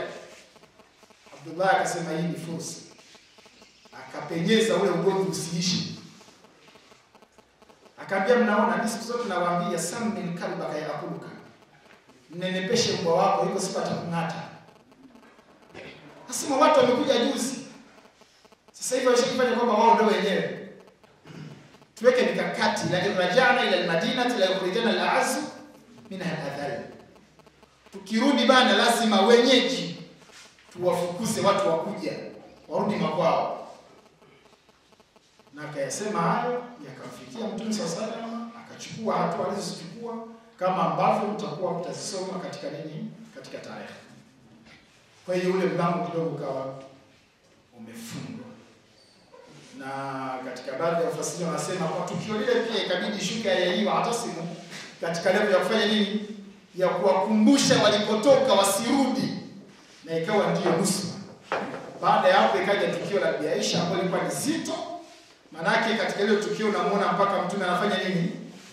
Eh, anachukuliwa, yani anaweza akaondoka. Na yenyewe kidogo kama ile imemgusagusa, imemchukua chukua. Ilikuwa tukio kubwa sana. Lakini baadaye Allah akaliacha kwa muda kadhaa na baadaye zikashuka aya kuonyesha ile tukio lilivyo na Waislamu wakatakiwa kujifunza. Ni jambo gani kasa. sawa. Kwa hiyo mpaka Mtume sallallahu alaihi wasallam anaondoka, hakukupatikana mwanya wa kufarakanisha miongoni mwa mwa Waislamu. Zile fursa zote zilizotokea waha ilishuka na kuweka mambo sawia. Kwa hiyo Mtume swalla sallam anaondoka akiacha umma ukiwa salama. akaingia Abubakar Siddiq radhiallahu anhu, watu wakadhani wangaliweza kumteteresha kwa sababu ya ule upole wake waliokuwa akiusoma kwake. Kumbe wakakuta ni kwa sababu yeye alikuwa ni kama amejiweka kwa, kwa, kwa namna fulani kwa sababu ya mazingira, lakini alipopata ile fursa ya kuwa khalifa Watu walimshangaa.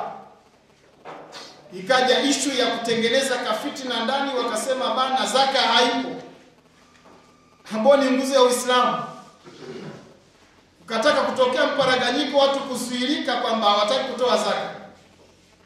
Abubakari akasema hamkupata kunijua, ila sasa ndio mtakaponijua. Hata kama nitaagiza watu waniunge mkono kata hili wakakataa, nitakwenda peke yangu kupambana na watu wote mpaka Mwenyezi Mungu anichukue. Watu wakarudi katika mstari, wakasema hapa pia mwanya haupo, na kwa sababu pia alichukua muda mfupi katika ukhalifa wake, miaka miwili, akawa ametawafu, ameondoka, akaingia mheshimiwa Omar bin Khattab. E, pale sasa palikuwa pagumu. Amekaa muda mrefu, miaka kumi katika ukhalifa, lakini mwanya ulikuwa sio mwepesi. Maanake kila linaloweza kuleta mtafaruku yeye anaona mapema, na akikutazama tu wewe unaweza kuleta shida. Ambia huyu bana, kufa kwake ni, ni bora kuliko kuishi. Yaani wakati wowote unaondoka. Ni kwamba ukiongea naye uwe makini, manake fatwa akiitoa inafanya na kazi moja kwa moja. Kwa hiyo watu walikuwa makini for 10 years, lakini sasa watu hawajui huyu anaondoka lini. Hatimaye mnaona kihistoria ikaenda mpaka akafika pao akapangiwa njama, akaingia mtu akajinasibisha na Uislamu, akasali msikitini, anasali safu ya kwanza, kimwona kama Muislamu, kumbe ni katika strategy za maadui na zaidi Mayahudi ambao walikuwa wameanza sasa, tunavunja vipi ile ngome, na mtu anakwenda miaka nenda rudi. Muda ulipofika asema uwawe. akiwa katika ibada ya sala akawashwa mapanga, ikawa ndio sababu ya kifo chake. Baada ya pale akaingia Uthmani bin Affan, na hapo mazingira yamekwisha tengenezeka vizuri. Kuna sehemu ya kuanzia kuitengeneza fitna. Mkisoma historia ile vizuri, Unaona ile fitna ilivyokuwa. kwa kweli wakati wa Uthman bin Affan pale ndipo ndipo fitna ilipopata fursa ya kupenyeza na kuparaganyisha baina ya Waislamu kuanzia kikundi cha masahaba. Zikaja tuhuma nyingi, sijui anakula mali za Waislamu, sijui anafanya nini.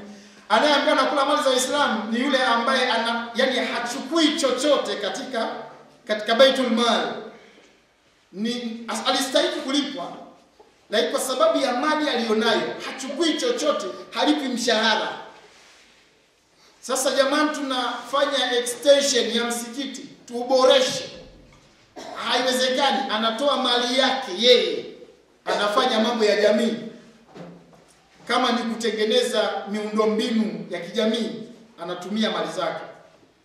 Lakini tuhuma ikaenda ikaenda mpaka ikafika pahala ikatolea, wanafika pahala wanaamua kwenda kumuua, na watu wanaokwenda kumuua pamoja na watoto wa wa, wa masahaba waliotangulia pamoja na, na wakhalifa Abubakar Siddiq radhiallahu anhu, wanamkuta akiwa msikitini anapitia Qur'an, wakamkamata wakamvuta wakampiga mpaka kupata kifo.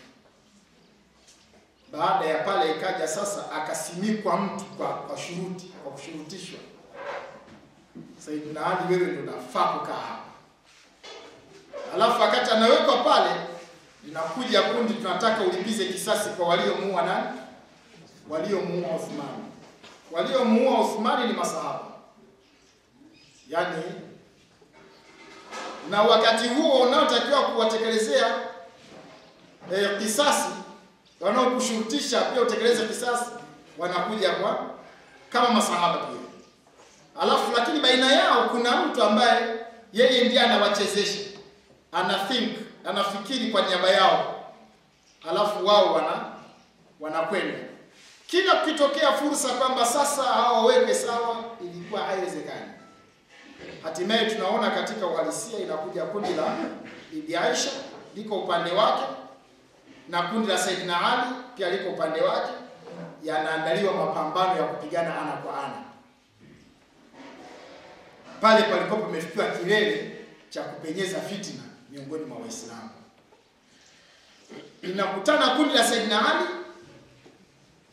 ambaye ni mtoto wa baba mdogo wa Mtume sallallahu alaihi wa wasallam, anapambana na kundi lingine linaloongozwa na Bi Aisha mke wa Mtume sallallahu alaihi wa wasallam.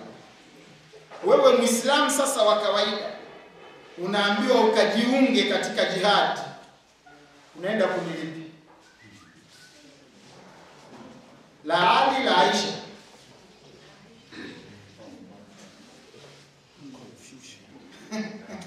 unaenda kundi gani? Saidina Ali au unaenda kwa Bi Aisha? Mwanamke anasema kwa Bi Aisha, mwanaume anasema kwa Ali.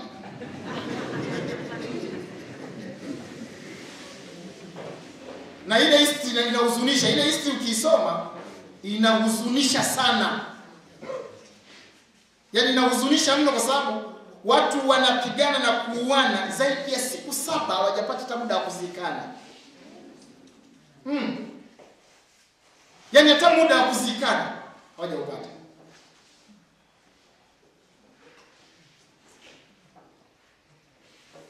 Biaisha iko pale mpaka watu wana yaani serikali sasa itakuwaje? Wanapigana lakini kuna msongo wa mawazo huko pale. Sasa itakuwaje na watu wanakuja sasa mtakaa mnaangaliana hivi itakuwaje? Inabidi mpambane, mnapambana kwa kulazimishwa. Mazingira yakitengenezeka, una namna ya kukaa hivi, vinginevyo kama mnapigwa mnakufa, mnakwisha. Kwa pande zote inabidi mjihami. Hatimaye sinaenda nasema kuondoa kwa vipi sasa itakuwaje? Yule mama yuko pale alipanda ngamia, anaangalia. Kibi tokee mpaka aende kukatwa. Hebu tuweke strategy kukatwe mguu wa ngamia, lakini pia ashushwe taratibu, asije akaanguka. Ni mke wa Mtume, kumka nafasi ya kuwa mke wa Mtume inabakia pale pale, inatishia, inatishia amani. Tunapambana na mke wa Mtume iko pale, na baada ya pale ikaondolewa, ni kwamba wakarudi nyumbani, lakini ikawa imetengeneza tayari makundi yameshapatikana, kwamba kuna kundi hili na kuna kundi hili. Myahudi akatengeneza hayo, kuanzia hapo ilikuwa tayari mafanikio makubwa sana yameshapatikana. Yanayojitokeza leo ni marudio, yanayojitokeza leo ni mwendelezo wa fitna za Yahudi, mitafaruku inayotokea miongoni mwa Waislamu ni mitafaruku ambayo inatokana na hiyo historia. Kwa yanayoibuka leo ni matokeo ya fitna za Yahudi. Sasa inakuja katika Waislamu, tunarejeshwa katika mstari, tunatakiwa kushikamana katika kamba ya Allah subhanahu wa ta'ala, na kamba ya Allah ni dini, misingi ya dini, kwamba dini ndio itakayowaunganisha. Mkiungana kwa lingine, mtafarakana. Mkiungana kwa sababu tunaishi sehemu moja, mtafarakana. Kuna siku mtafarakana mkiungana kwa sababu unajua sisi tu kwenye taasisi hii, kuna siku mtafarakana. Mkiungana kwa sababu sisi ni kundi hili, mtafarakana. Lakini ambacho kinaweza ikawadumisha kwenye mshikamano nini? Dini, na dini ina majukumu yake ambayo ni ya kutekeleza, ambayo sasa yatakuja kueleza katika kundi katika kundi la la, la, la harakati ndio wataku minkum umma tutakuja kueleza kule katika kundi la, la harakati. Kwa hiyo Waislamu wanahitaji watumie historia hii, wajifunze, wasirudi katika yale ambayo yametokea. wasirudi katika zile fitna ambazo ni mwendelezo bado huko duniani, na leo unayaona matukio yanatokea, lakini bado watu wako katika confusion, wako confused, yaani wanayumba kana kwamba hawana Qur'an. Lakini hii ni historia ambayo iko wazi, na huenda Mwenyezi Mungu alituletea ili sisi tujifunze, na aya ziko pale zinaonyesha kwamba tunahitaji kushikamana katika kamba nani, katika kamba ya Allah subhanahu wa ta'ala. Lakini sintofahamu zetu sasa leo vimetengenezwa vidude vingi, zikatengenezwa fursa nyingi za watu kutofautiana. Moja ni haya masala ya kujinadi kwa misingi ya kitaasisi na itikadi. Haya ni mambo yamekuja, wala ukiyatafuta kwa Mtume sala salam huwezi kuyakuta, kwamba ukamkuta kuna sahaba anajinasibisha kuwa bora zaidi kuliko mwingine, hamna. Lakini kila kukicha linaibuka kundi nalo linasibisha kuwa ni kundi la Kiislamu bora kuliko kundi lingine. Tatizo kubwa na wote bahati mbaya wanaegemea katika hadithi ya Mtume sallallahu alaihi wasallam, umma wangu utagawanyika katika makundi sabini na yote yataingia motoni. Kasoro moja, alafu wanasema nao ni sisi.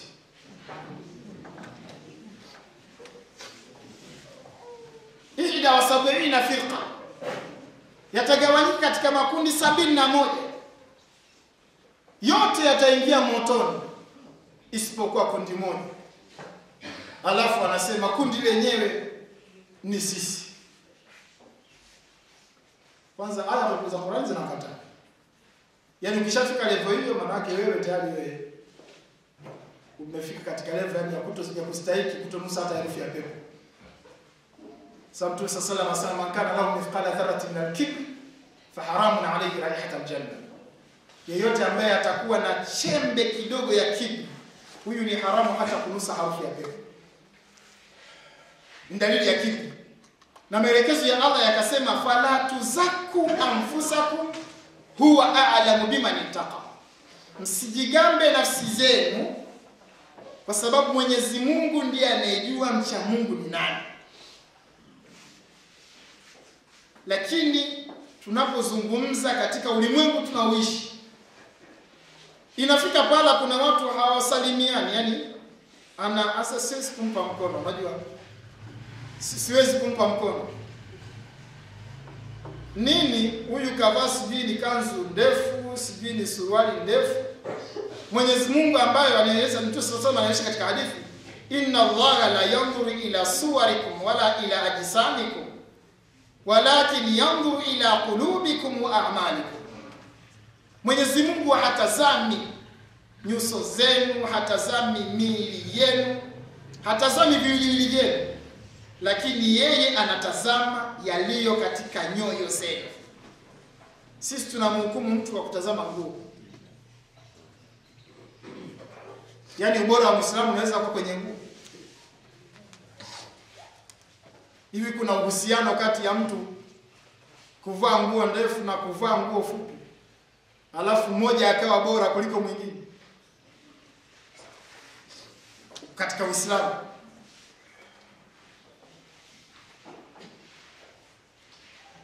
Yaani ubora huu tunautoa wapi?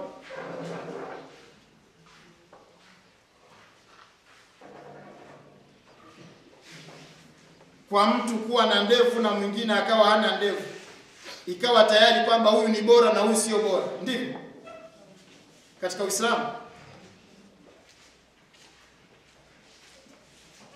Sasa kuna mtu anaweza akaelewa hivyo vibaya alafu akabakiza na akaharibu haiba. Si kila ndevu itatengeneza haiba yako, si ndio? Unajua sio kila ndevu itatengeneza haiba. Kuna ndevu nyingine inaharibu haiba yako. Sasa ukang'ang'ana tu, nyingine imekaa hapa, nyingine imekaa hivi, nyingine imekaa hivi. Wasema katika sunna.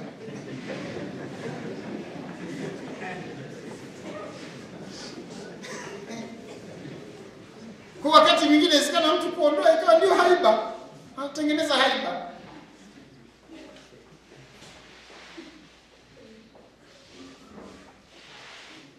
Haviwezi kufanya mtu akawa bora, kama hadithi ilivyo wazi. Mwe- Mwenyezi Mungu atazama katika hadithi ya saba katika nani katika riao.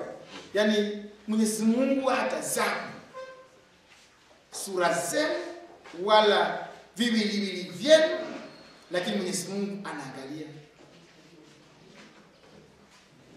Mnasimama ndani ya ibada ya sala, hivi ubora wa mtu katika sala ni kwa kufungia kifuani au kufungia kwenye tumbo? Mmoja anakuwa bora, alafu mwingine anakuwa sio bora, ndivyo inatazamwa mtu atakayefikia lengo la swala huyo ndiye atakayekuwa bora mbele yao. Kwa mfano, kama mtu kwa maarifa aliyoyapata akaamua kufungia kifuani ama akaamua kufungia tumboni, yule atakayetangulia kuyafikia malengo ya swala, yule ndiye atakayekuwa bora, ambaye swala yake itamzuilia na machafu na maovu, huyu amekuwa bora.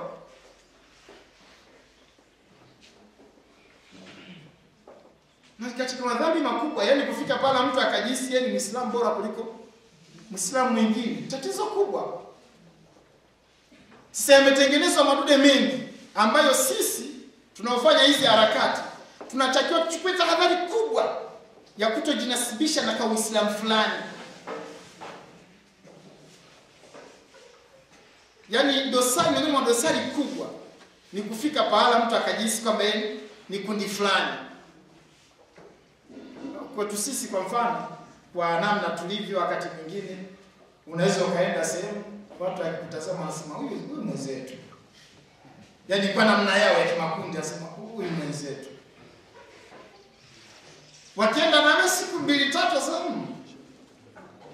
sio bwana, huyu sie. Walichokitazama ni kwamba wana vigezo vyao, wamekutazama pengine labda suruali yako sio isibali, wakitazama ndevu ziko pale. Eh, ukitazama ona kama fulani. Kwa hiyo waswali watakuchukua wakutumia kama siku tatu, sio bwana, ukutane na salafi wanasema "Eh, huyu mwenyewe. Muda kidogo, sio. Maki inafika pala mpaka ukiomba uzungumze na Waislamu msikitini. Mpaka wakuangalie kwanza.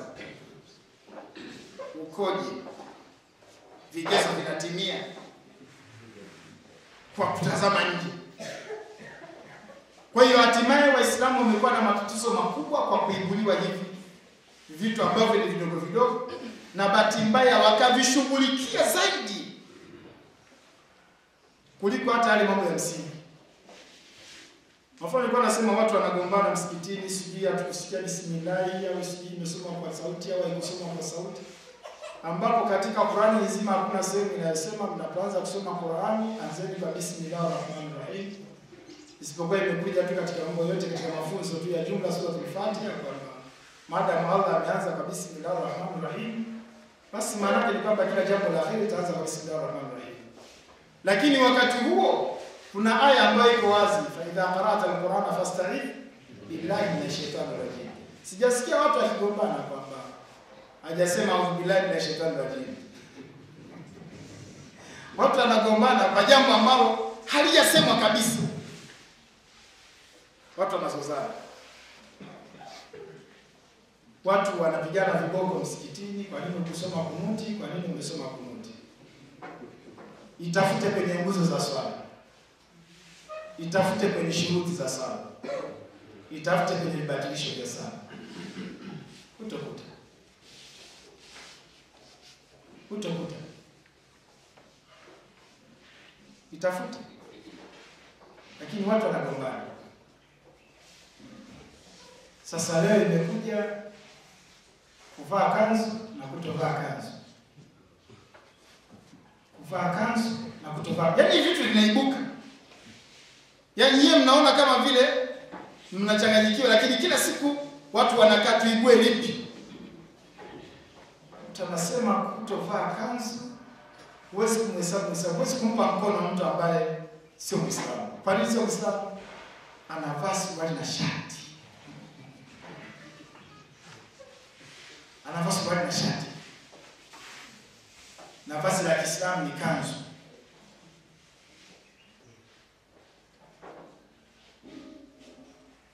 Ah, Watakuwa ni watano. Niambie katika shughuli ambazo zinafanyika hapa, watu wote wamepigilia vilemba na kanzu.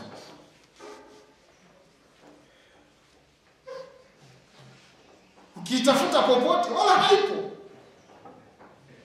Mavazi ni utamaduni. Kinachotakiwa imeeleza misingi ya mavazi, na haikuja kwamba ni aina ya vazi.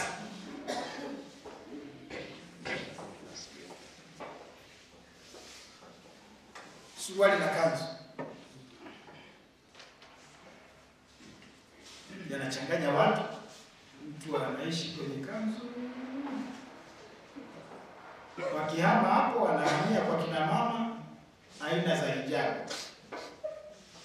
Hijabu gani inajuzu, hijabu gani haijuzu? Hijabu lazima iwe rangi moja. Ukiingia doa haifai. Niyasema hata sio tu rangi moja, lazima iwe nyeusi. Tena utapata thawabu zaidi nyeusi ti.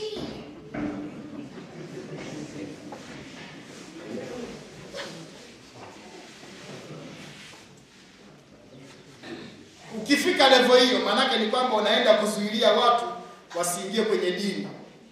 Kuna watu ambao wamesoma, wana misayansi yao vizuri, wanaelewa, wanaangalia uhusiano wa ulimwengu wa maisha ya kawaida wa rasilimali na viumbe vya Allah subhanahu wa ta'ala vilivyopo, ikiwa ni pamoja na jua, uhusiano wake na vazi jeusi. Alafu Uislamu unalazimisha watu wote, na ukizidi akwambia yeye ya dunia sijinul mu'min, dunia ni jela kwa Waislamu eh? waishi kama wako jela na vina.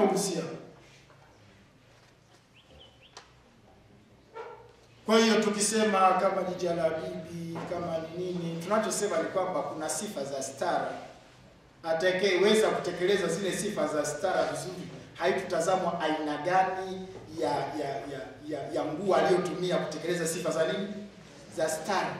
Lakini watu wanagombana, na kuna watu wanaona kabisa huyu sio Muislamu, wanamwacha hamuingizi katika nani, katika harakati za Kiislamu kwa sababu yeye bana, yani sio Muislamu, yani kama vile yani afadhali Muislamu kuliko kuliko huyu, yani afadhali kafiri kuliko huyu. Kwa utakuta wakati mwingine ni kundi la kina mama linaendesha harakati zake, waliokaa pale kina mama wamevaa jalabibi nyeusi ti na niqab, haingii mtu mwingine pale. Kitoka hapo inakuja kesi ya nikabu, nayo inawachanganya. Muislamu anaruhusiwa kutovaa nikabu?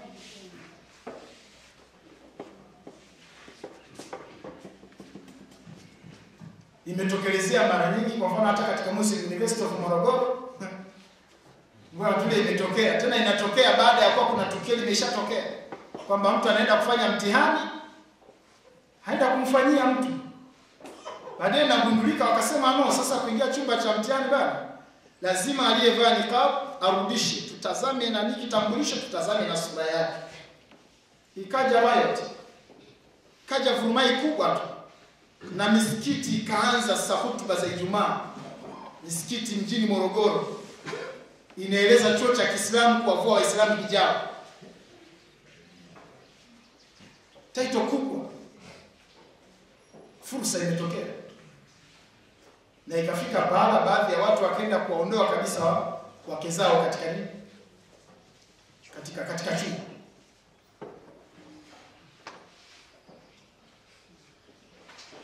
Jana nilizungumza na dada kwa kambi, dada mmoja kwa kambi tu ananiambia bana, kuna mtu ameachana na mke wake kwa sababu alimkuta nje amesahau kuvaa niqab. Kamkuta uchi.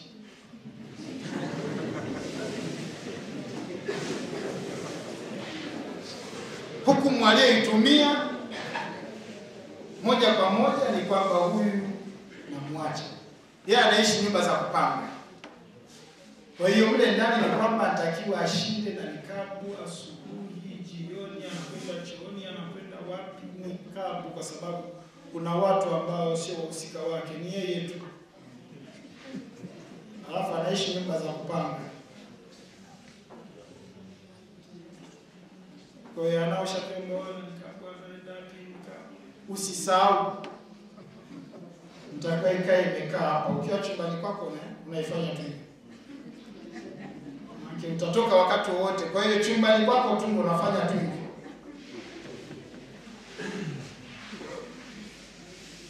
Nimesahau kijiko.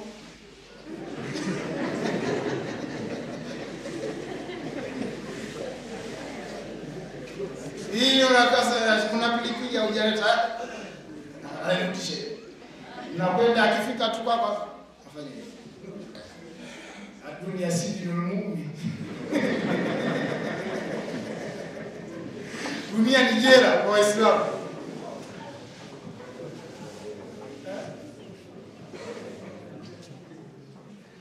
Sasa haya yote kwetu sisi Waislamu yanasababishwa na mambo makubwa mawili. Moja, kwanza kukosa maarifa sahihi ya Uislamu. Yaani kukosa maarifa sahihi ni miongoni mwa vitu ambavyo vinasababishia sisi tupate shida.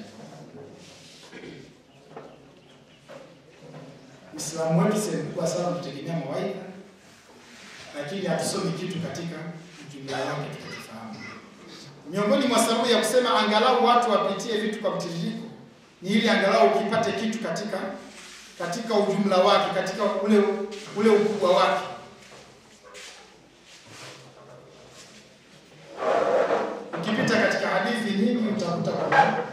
Kuna unaweza kukuta hadithi inasema hivi, ukakuta hadithi nyingine inasema inasema hivi. Watu wanazozana, lakini kila ukitazama hamna sababu ya kufanya nini, hamna sababu ya kuzozana, ni kukosekana kwa maarifa. Kwa mfano, nilikuwa nazungumza jana, watu ambao wanagombana kwa kutikisa vidole, waulize kila mmoja akupe hadithi, yaani mwambie kila mmoja wao Bahati nzuri kama msikitini ndio sana kuonana. Kuna atakaye nyosha hatutikisa, kuna anayenyosha anatikisa hivi kwa haraka haraka, kuna anayezungusha, kuna anaye vyote utaviona. Huyu ambaye atikisi, huyu anahesabiwa pia katika kundi lingine. Huyu atakayefanya hivi kwa haraka haraka atahesabiwa kundi lingine anayezungusha kundi lingine, anayepiga kidogo kidogo naye kundi. Makundi manne hapa hayaelewani kwa sababu ya kidole. Sasa liulize kila kundi likupe likupe dalili, likupe ushahidi. na mwingine unamkuta amejazibika anafanya hivi mpaka anakaribia kunyanyuka, anafanya hivi anakaribia kunyanyuka kwenye swala, mpaka akaribia kunyanyuka.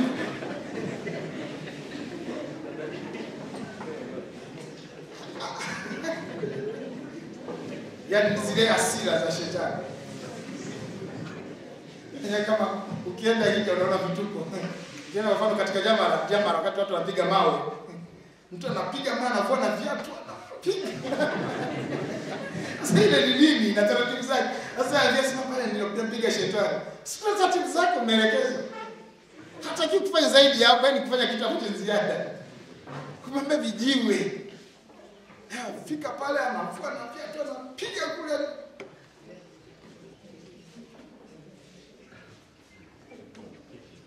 Sasa uliza kila mtu akupe maarifa itakuwa ni vigumu. Wote wanaogombana hakuna anayeweza kumsaisha mwenzake ila kwa jazba.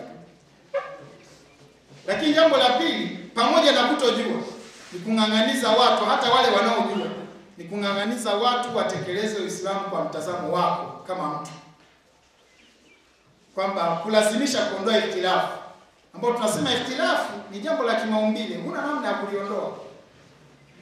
Kwa mfano hapa tulipo, uelewa wetu ni tofauti, hiyo ni ikhtilafu. Vimo vyetu ni tofauti, hiyo ni ikhtilafu.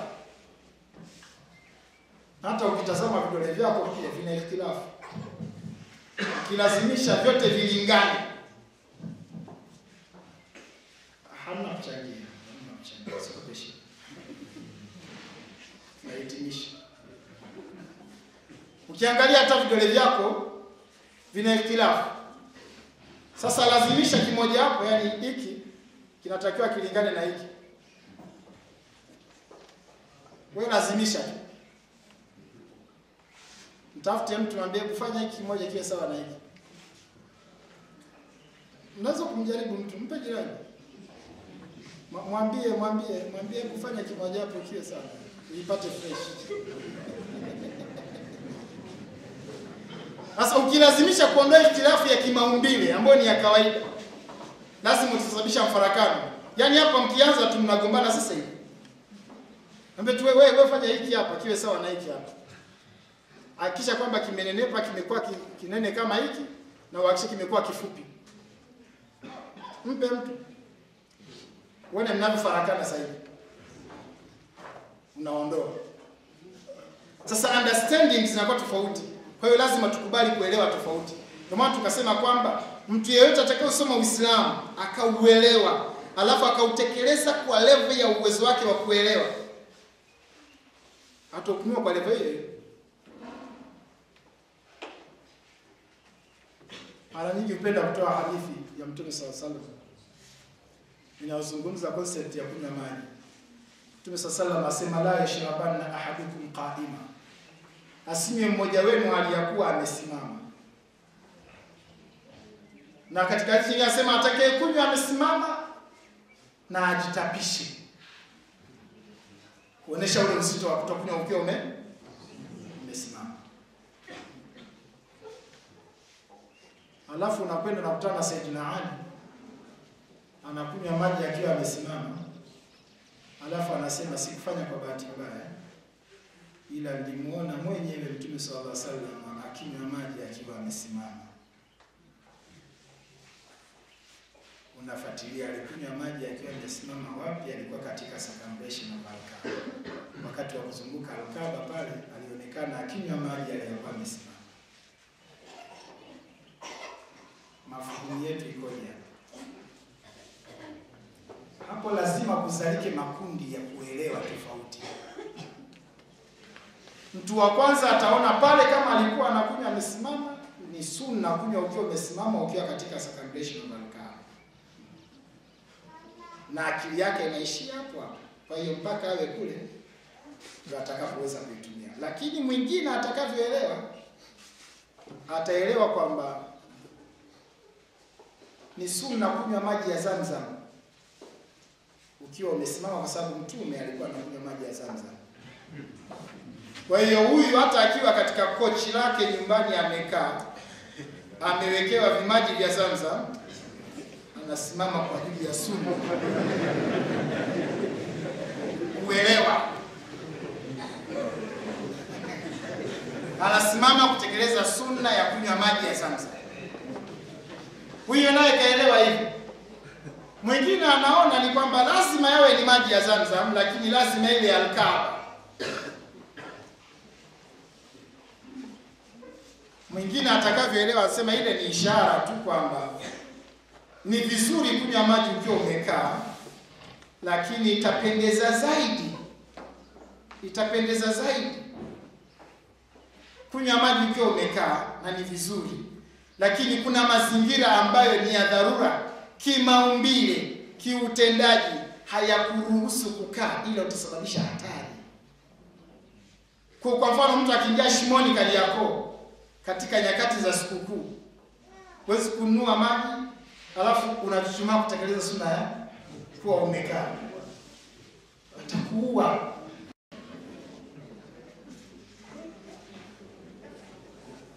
Mpaka watu wanasema wanasema, ah, jamani, kuna mtu umekwisha.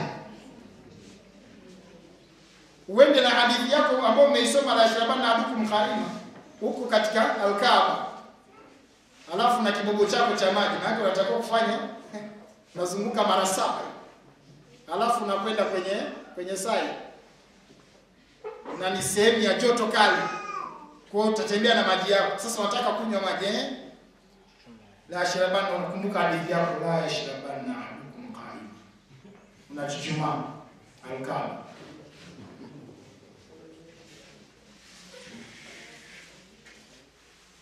labda kama umetia nia ya kufa hawa ambao hawajakaa kwa mbanano tu watu wanakufa, wewe unakaa kabisa. Maarifa na ikhtilafu utaiona pale, na hii tukasema hata katika history masahabu anaambiwa jamani, mnakwenda mfano pale baada ya nani ya ya tunakwenda jamani, tu, tusisali asiri mpaka tufike kwa Bani Quraiza. Jamaa hakuna kuweka silaha chini, Jibril ameshashuka, mnatoka mkawashughulikie Bani Quraiza. Hakuna kusali asiri mpaka kwa Bani Quraiza. Watu wamefika njiani, muda wa asiri umefika. Sasa jamani, mtume akasema tusali asri mpaka tufike kwa Bani kwa Bani Quraib. Mbona muda umefika? Inna salata kana taramina kitaba maukuta, swala imewekewa wakati maalum jamani. Sasa kwani ina maana mtume aliyesema alikuwa ajui aya hii?